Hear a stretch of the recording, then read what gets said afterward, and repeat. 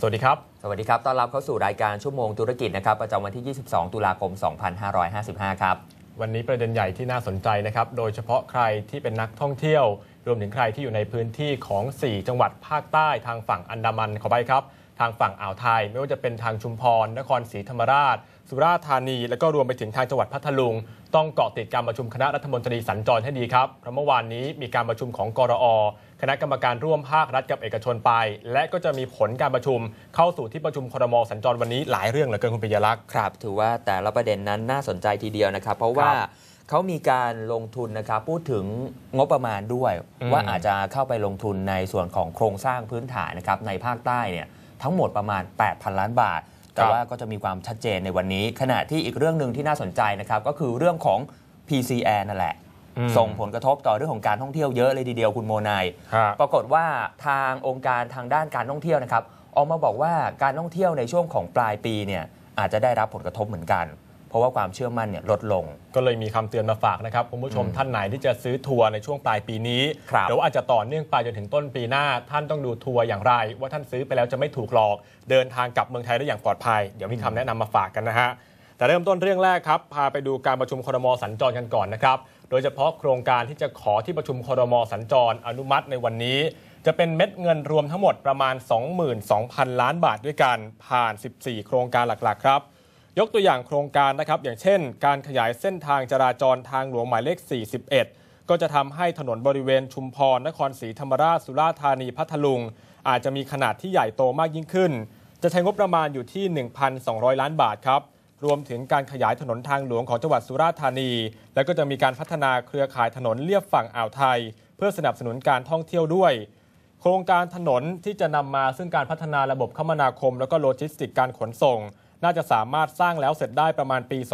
2557 นะครับ รวมถึงจะมีโครงการอย่างการเร่งรัด การพัฒนาศูนย์กระจายสินค้าภาคใต้ รวมไปถึงการบริหารจัดการทรัพยากรน้ำการส่งเสริมการท่องเที่ยวและบริการ เพราะฉะนั้นวันนี้ใครที่อยู่ในพื้นที่ 4 จังหวัดของภาคใต้ฝั่งอ่าวไทย ต้องรอดูผลการประชุมครมสัญจรให้ดีฮะครับส่วนเรื่องของการประมูล 3G นะครับที่เป็นคำถามค้างคาใจของหลาย ๆ คนนะครับว่าเอ๊ะการประมูล 3G ที่ผ่านมาเนี่ยมันส่งผลกระทบต่อเรื่องของความเสียหายนะครับ16,000 ล้านบาทนะครับให้กับประชาชนผู้เสียภาษี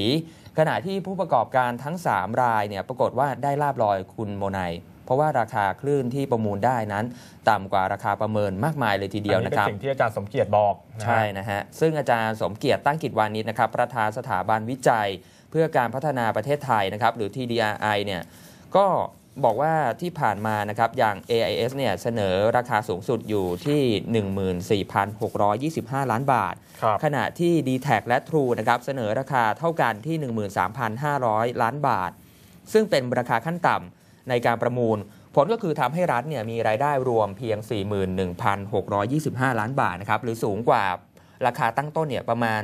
2.8%เท่านั้นเองนะฮะทีนี้มันมีข้อสังเกตขึ้นมาส่วนหนึ่งนะครับ เพราะว่าทำไม AAS เนี่ยจึงเสนอราคาสูงกว่ารายอื่นมากเกินจความจำเป็น หรือสูงกว่ารายอื่นเนี่ยถึง 1,125 ล้านบาท ทั้งที่การเสนอราคาเฉือนรายอื่นเพียง 225 ล้านบาทก็ได้แล้วนะฮะหรือราคาเคาะเพิ่มต่อครั้ง ก็น่าจะสูงพอที่จะเป็นผู้ชนะเลือกคลื่นที่ดีที่สุดได้แล้วนะครับ ซึ่งอาจอธิบายพฤติกรรมแปลกพิสดารนี้ได้หลายทาง อย่างเช่นผู้บริหาร AAS ตัดสินใจผิดพลาด อันนี้กรณีที่หนึ่งครับนะครับ ก็อาจจะต้องถูกลงโทษทำให้ผู้ถือหุ้นเนี่ยเสียหาย ก็อาจจะต้องมีการพิจารณาจากกรรมการบริษัทลงโทษอีกครั้ง หรือผู้ถือหุ้นควรฟ้องร้องเรียกค่าเสียหาย หรืออาจเป็นความพยายามจัดฉากของบางฝ่ายนะครับ เพื่อแสดงให้ประชาชนเห็นว่า การประมูลมีการแข่งขัน ข้อสันนิษฐานนี้ก็หาข้อสรุปได้ไม่ยากนะครับ หากมีการตรวจสอบอย่างจริงจังโดยหน่วยงานของภาครัฐ โดยเฉพาะปปชนะฮะส่วนทางคุณกรณ์จาติกะวณิชนะครับรองหัวหน้าพักประชาธิปัตย์ก็แสดงความเห็นใน Facebook ส่วนตัวโดยมีเนื้อหานะครับ บอกว่าก็พูดคุยกับเพื่อนเรื่องของการประมูล 3G ด้วยเหมือนกัน บอกว่าเอ๊ะการประมูลครั้งนี้เนี่ยดูแล้วมันการประมูลได้ไม่ค่อยเยอะเท่าไหร่อืมทีนี้ก็มีความสงสัยว่าอ้าวอย่าง พรรคการเมืองอย่างรัฐบาลพรรคเพื่อไทยทำไมไม่ค่อยออกมาพูดถึงเรื่องนี้ ไปสังเกตดูได้เลยคุณโมนายครับคือทางรัฐมนตรี ICT เงียบไม่พูดอะไรเลย คือทั้งๆที่เห็นอยู่แล้วเนี่ยว่าจริง ๆ มันความเสียหายเยอะ คือเขาบอกว่าอาจจะมีความเป็นไปได้ว่า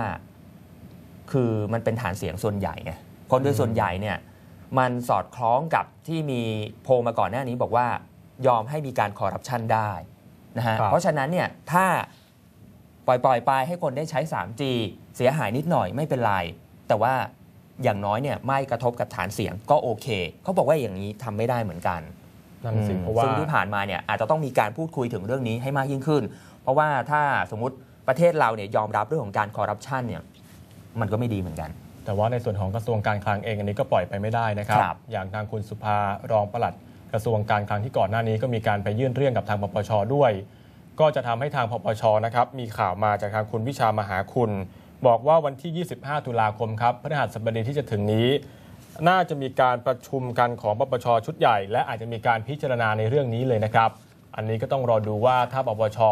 มีการชี้มูลลงมาอย่างใดอย่างหนึ่งเนี่ยจะมีผลต่อผลการประมูลที่ออกมาแล้วหรือเปล่า เพราะว่าทางกสทช ก็เตรียมจะให้ใบอนุญาต คิดว่าภายในสัปดาห์นี้เนี่ยนะครับโอเปอเรเตอร์ทั้ง 3 เจ้าก็น่าจะได้ใบอนุญาตกันแล้ว นี่คือเรื่องมหากราบ 3G นะครับ ก่อนที่จะประมูลก็ว่ายาวแล้ว แต่เชื่อว่าหลังจากประมูลผ่านไป เรื่องนี้ก็ยังไม่จบเช่นกัน อีกเรื่องหนึ่งครับ อันนี้ก็ถือว่าสำหรับใครที่จะต้องเดินทางไปท่องเที่ยว ก็อาจจะได้เป็นอุทาหรณ์เอาไว้ส่วนหนึ่งเหมือนกันครับว่าถ้าเกิดเจอราคาทัวร์ที่ถูกมากๆเนี่ยท่านอาจจะต้องเอะใจเอาไว้หน่อยว่าเอ๊ะมันถูกแบบนี้เป็นไปได้เหรอผมก็เป็นนะ เคยเจอเหมือนกันใช่ไหมแล้วหาอยู่เดี๋ยวนี้เจอการแข่งขันทางด้านราคาสูงเลยทีเดียว โดยเฉพาะครับเรื่องของการไปเที่ยว อย่างไปเกาหลีเอยหรือว่าไปอเมริกาอะไรพวกนี้ราคาเนี่ยอืมมันสู้กันพอสมควร โดยเฉพาะเกาหลีกับญี่ปุ่นคุณโมนายครับเพราะว่าคนไทยนิยมไปเที่ยวเยอะ ทีนี้ตัดราคากันพอสมควร แล้วถ้าตัดราคาเป็นยังไงบ้างอืมคุณภาพของทัวร์มันจะต่ำลง ไม่ว่าจะเป็นอาหารการกินการใช่เดินทางโดยเครื่องบินอืมรวมไปถึงสถานที่ท่องเที่ยวด้วยนะครับ แต่เอาความคืบหน้าในเรื่องของตัว PCR ก่อนนะครับว่า ทางกรมการบินพลเรือนนั้นจะมีการจัดการกรณีนี้อย่างไร ท่านอธิบดีวรเดชหานประเสริฐบอกนะครับว่าวันนี้ 22 ตุลาคม น่าจะมีการตัดสินใจจากทางกรมนั่นแหละครับว่าตกลงจะมีการเพิกถอนใบอนุญาตของ PCR หรือเปล่า เบื้องต้นเนี่ยพบว่าสายการบิน PCR ไม่สามารถให้บริการผู้โดยสารได้ และก็ขอหยุดทำการบินเป็นเวลา 2 สัปดาห์ เริ่มตั้งแต่ 20 ตุลาคมเป็นต้นไปครับเขาอ้างมาให้เหตุผลว่ามีปัญหากับบริษัทสกายเจ็ตที่เป็นตัวแทนของเขาด้านการบิน เลยทำให้ไม่สามารถทำการบินต่อไปได้ แต่ตอนนี้ก็ยังคงมีผู้โดยสารตกค้างอยู่ที่เกาหลีอีกนะฮะคุณผู้ชม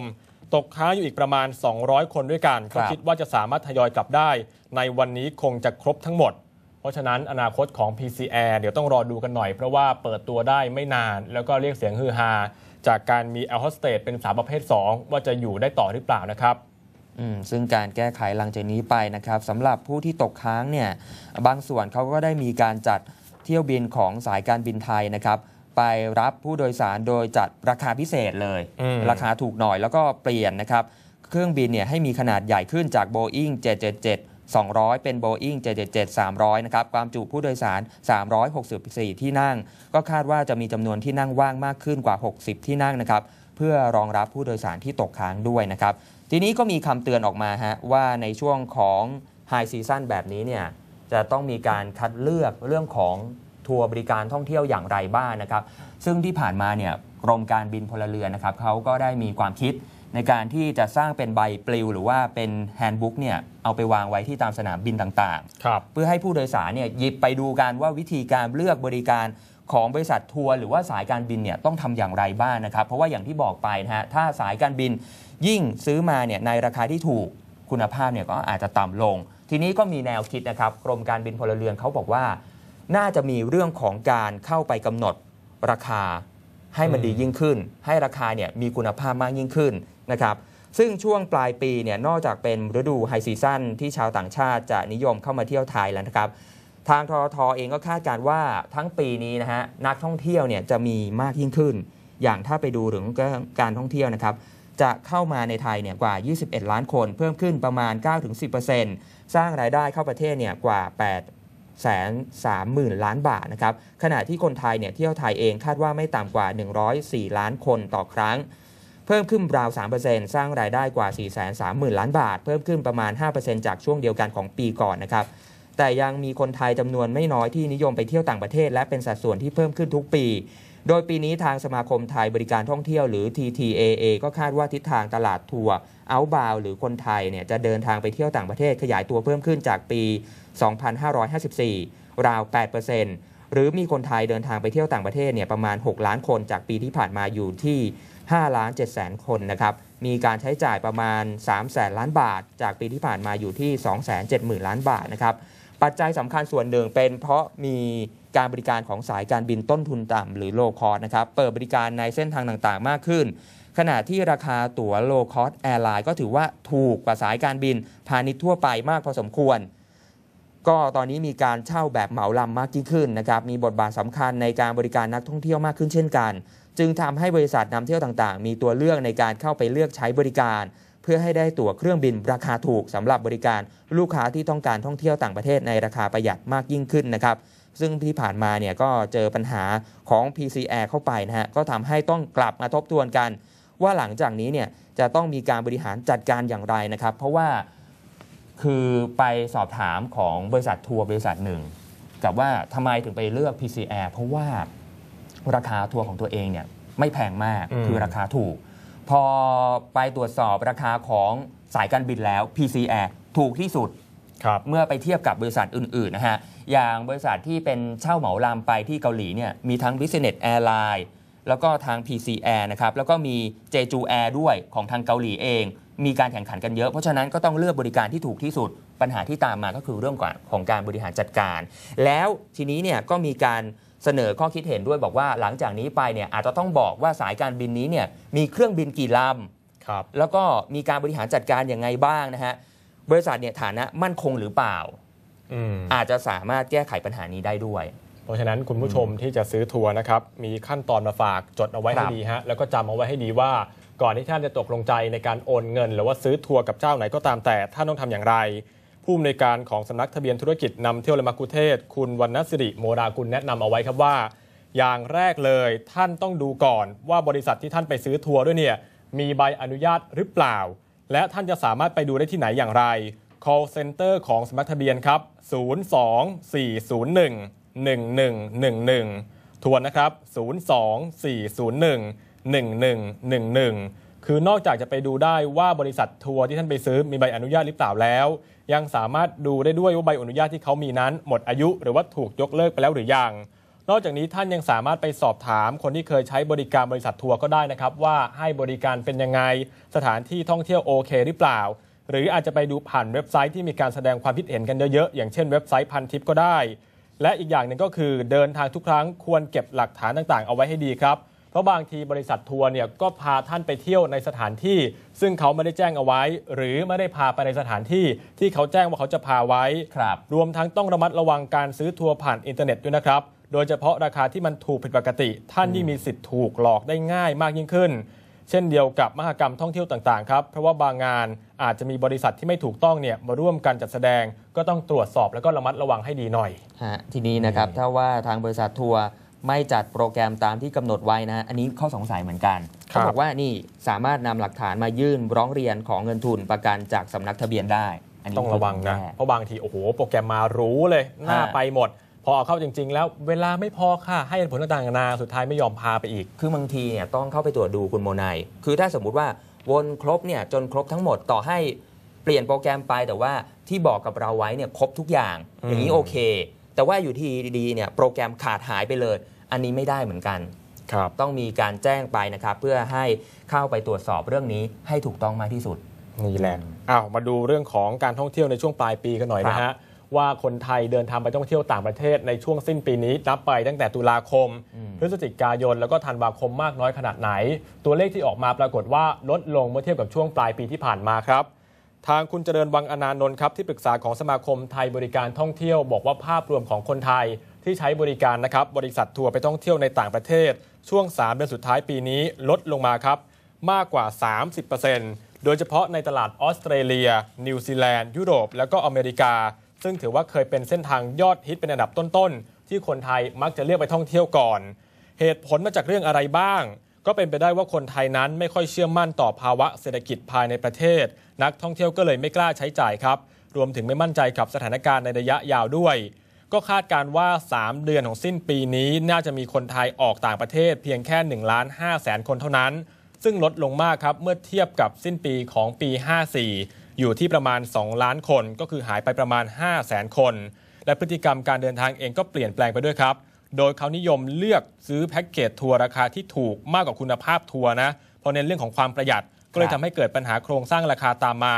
บริษัททัวร์เองก็แข่งขันพยายามสร้างแรงดึงดูดต่อลูกค้า ให้หันมาใช้บริการมากขึ้นก็แข่งขันกันด้านราคา แล้วก็ไปหาซื้อตั๋วเขามีราคาถูกมานี่แหละ เพราะฉะนั้นคุณปิยลักษณ์ต้องระมัดระวังให้ดีอย่าเน้นถูกนะ เอาคุณภาพบ้าง เออปกติเน้นถูกไงเน้นแต่ถูกเนี่ยคุณระวังให้ดี แต่ว่าที่ไปมาในเกาหลีก็โอเคไหมราาถูกก็โอเคนะเหรอถูกแต่โอเคครบนะก็มีใช่ไหมเออคือว่าต้องดูดีๆนะครับราคาประมาณเท่าไหร่ถึงกำลังดีที่คุณไปมาเนี่ยมันอยู่กับหน้าฤดูกาลถ้าช่วงหน้าหนาวนะฮะก็ตกประมาณสัก 20,000 กว่าบาทอืมแต่ว่ามันจะมีทัวร์คุณภาพมากๆเนี่ยตก 30,000 กว่าบาท อันนั้นมั่นใจได้ว่าไม่มีปัญหาแน่นอน แล้วก็การกินเนี่ยจะดีแต่ว่าไม่ใช่บอกว่าที่ราคาถูกเนี่ยไม่ดีนะครับก็ดีเหมือนกัน คือบางทีต้องย้อนกลับไปดูว่าบริษัททัวร์นี้เนี่ยน่าเชื่อถือแค่ไหน ตั้งมานานมากน้อยแค่ไหน อันนี้น่าจะโอเค แล้วก็ดูเรื่องของโปรโมชั่นบัตรเครดิตต่างๆ ถ้าไปร่วมกับบัตรเครดิตได้เยอะๆเนี่ยแสดงว่าเขามีความน่าเชื่อถือ แต่ว่าถ้าเป็นทัวร์กิงกองเพิ่งเปิดหรืออะไรเงี้ยครับโอ้ต้องน่าดูทีเดียวนะ ดูให้ละเอียดเลยทีเดียวโอ้โหตายแล้วเกลือเริ่มไหลมาจากเสื้อเลยเนี่ยไหลอยู่ทุกเข้วัมนอยู่ข้นแล้วมากเออการตรวจสอบอะมาดูเรื่องของดอกเบี้ยนโยบายบ้างเป็นยังไงบ้างครับก่อนหน้านี้นะฮะก็มีการปรับลดมาแล้วนะครับสำหรับแบงก์ชาตินะครับลดลงมาประมาณ 0.25%นะครับทำให้ที่ผ่านมาเนี่ยตอนนี้จาก 3%นะครับเหลือ 2.75%นะครับ และวันศุกร์ทางธนาคารกรุงเทพและแบงก์ไบโพเองเนี่ยคือธนาคารไทยพาณิชย์อืมก็ปรับลดลงมานะครับ ทั้งดอกเบี้ยเงินกู้ แล้วก็ดอกเบี้ยเงินฝากนะครับครับลดลงทั้งสองขาเลยนะฮะก็ปรับลดอัตราดอกเบี้ยของทั้งสองขาประกาศปรับลดสินเชื่อลูกค้ารายใหญ่ชั้นดีหรือ MLR หรือดอกเบี้ยเงินกู้ ลงในอัตราประมาณ 0.125%แล้วก็ดอกเบี้ยเงินฝากลดลงประมาณ 0.25%นะครับซึ่งการลด RP ของกนงครั้งนี้ คุณประสานไตรรัตน์วรกุลผู้ว่าการแบงก์ชาติก็บอกว่าแบงก์ชาติเนี่ยไม่ฟันธงว่าเศรษฐกิจปีหน้าจะแย่ แต่การลด RP นั้นเป็นการซื้อป้องกันความเสี่ยงไว้นะครับ ซึ่งระยะข้างหน้าเนี่ยเชื่อว่าจะเห็นผลกระทบชัดเจนขึ้น จากนี้จะต้องมีการประเมินสถานการณ์ต่อเนื่อง และพิจารณาข้อมูลทางเศรษฐกิจอย่างใกล้ชิด ส่วนประเด็นอาจจะเป็นการเร่งให้สินเชื่อขยายตัวสูงขึ้น ทางแบงก์ชาติยืนยันนะครับว่าจะจับตาอย่างใกล้ชิด แม้ขณะนี้ไม่อยู่ในระดับที่เป็นกังวลก็ตาม แต่ว่าการปรับลดดอกเบี้ยนโยบายเหลือ 2.75%ขณะที่อัตราเงินเฟ้อทั่วไปอยู่ที่ 2.9%ทำให้อัตราดอกเบี้ยที่แท้จริง กลับมาติดลบอีกครั้งนะครับโดยอัตราเงินเฟ้อที่แท้จริงปัจจุบันติดลบอยู่ที่ประมาณ 0.7%ส่วนทางคุณเมธาปิงสุทธิวงศ์ผู้ช่วยกรรมการอำนวยการสายบริหารเงิน และธนบดีธนกิจ ทางทิสโก้ Financial Group นะครับ ก็เปิดเผยว่า เมื่อธนาคารใหญ่ปรับลดดอกเบี้ยลง เป็นสัญญาณชัดเจนว่าในส่วนของธนาคารขนาดกลางและขนาดเล็ก ต้องปรับลดดอกเบี้ยลงตามเช่นกัน และถ้ากรนงปรับลด RP ลงอีก ก็น่าจะเห็นการปรับลดลงตามเช่นกันนะครับแนวโน้มของการปรับลดอัตราดอกเบี้ยก็คาดว่าไม่รุนแรง เพราะว่าธนาคารเนี่ยยังเสนออัตราดอกเบี้ย เป็นแคมเปญจูงใจในการระดมเงินฝากอยู่ เพียงแต่อาจจะเสนอแคมเปญใหม่ ในอัตราดอกเบี้ยที่ลดลง ขณะที่ธนาคารในระบบจะได้อานิสงส์จากการปรับลดดอกเบี้ย ที่เอื้อต่อการบริหารสภาพคล่อง ยกเว้นถ้าสินเชื่อขยายตัวเติบโตเร็ว อาจจะกระทบสภาพคล่องในระบบนะครับ จึงมีการแนะนำผู้ฝากช่วงนี้ ถ้ายังมีโอกาสรับผลตอบแทนจากอัตราดอกเบี้ยสูง โดยเฉพาะบัญชีเงินฝากออมทรัพย์พิเศษนะครับคือแทนที่ลูกค้าหรือผู้ฝากเงินจะทิ้งเงินไว้ในบัญชีออมทรัพย์ปกติที่จ่ายดอกเบี้ยอัตรา 0.75% ตอนนี้ธนาคารจ่ายสูงถึง3%นะฮะอ่าเพราะฉะนั้นเดี๋ยวลองไปดูกัน ครับ แหม ไอ้ลดดอกเบี้ยเนี่ยก็ว่าประหลาดใจแล้วนะเพราะตอนแรกคิดว่าการแข่งขันด้านเงินฝาก จะทำให้บรรดาธนาคารพาณิชย์ ไม่ยอมตอบรับการปรับลดดอกเบี้ยนโยบายของทางกรงเอาละพอลดลงมาเสร็จปรากฏว่า ลดในขาฝากมากกว่าลดในขากู้อีก ขากู้เนี่ยลดลงมาแค่ 0.125%แต่ปรากฏว่าเออลดในขาฝากคืออย่างนี้ก็แย่0.25%สิคุณโมไนายแหม คือไอ้คนกู้เนี่ยก็เกือบจะดีใจแล้วนะ แต่ว่ามันดีใจเออไม่สุดอะมันดีใจกึ่งๆกลางๆไงก็ไม่รู้ แต่เงินฝากสิคนฝากนี่เสียววูบเลย เพราะฉะนั้นเงินคมันนลดลงเงินเยอะๆ อย่างคุณปียรักษ์เนี่ยอ่าต้องไปหาล็อกเงินฝากเอาไว้ให้ดีพูผินะหฮะรือเปล่าไม่ผิดหรอกถูกคนแล้วนี่แหละอ๋อ โดยเฉพาะการล็อกเงินฝากช่วงนี้ยังมีโปรโมชั่นของหลาย ๆ แบงก์อยู่นะครับ บางแบงก์จะหมดโปรโมชั่นสิ้นเดือนนี้เออเออบางแบงก์จะหมดโปรโมชั่นรู้สึกจะเป็นสิ้นเดือนธันวาคมครับที่จะให้ดอกเบี้ยประมาณสัก 3-4%ถ้าหากว่าฝากประจำตั้งแต่ 3 เดือน 5 เดือนบ้าง บางแห่ง 9 เดือนบ้าง ก็โอเคสำหรับดอกเบี้ยระดับนี้นะแต่สำหรับผมที่ตอนนี้ถ้ากู้เนี่ยต้องรอไว้ก่อนอ๋อไม่เป็นไรเออไม่เป็นไร เอ้ามาดูอะคำถามกันบ้างเพราะว่าวันนี้มีบัตรเงินสดจาก7 e เ e ่ e อมาแจกครับอีกเช่นเคยนะครับ คำถามของวันนี้ครับ อย่างที่รายงานไปเมื่อช่วงต้นชั่วโมงกันนะครับว่า การประชุมคณะรัฐมนตรีสัญจรในวันนี้ นายกรัฐมนตรียิ่งลักษณ์ชินวัตรไปเป็นประธานการประชุมครมสัญจรที่จังหวัดอะไร เอาแค่จังหวัดพอครับ ซึ่งเมื่อวานนี้หลายท่านคงได้ฟังข่าวไปแล้วนะฮะก็จะได้รับนี่ครับสำหรับคุณผู้ชมที่โชคดีส่งเข้ามานะครับสำหรับ SMS บัตรเงินสดของทาง7 e เ e ่ e อมูลค่า 300 บาทครับ 300 บาทวันละ 2 ท่านนะครับ ส่วนรายชื่อของผู้โชคดีเมื่อวันศุกร์ที่ผ่านมาครับ